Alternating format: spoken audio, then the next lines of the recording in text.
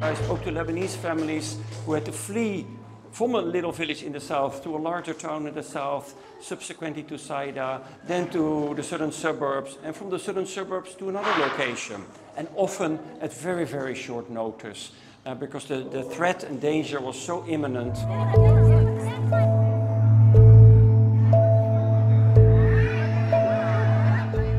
There's a lot of work that needs to be done to make collective centers uh, better equipped to receive large numbers of people. There's too much overcrowding, so we have a lot of work to do. And then again, we hope that people who are already displaced do not get caught up further uh, in hostilities uh, and have uh, another reminder of how violent um, this, uh, this conflict uh, in, has been and continues to be.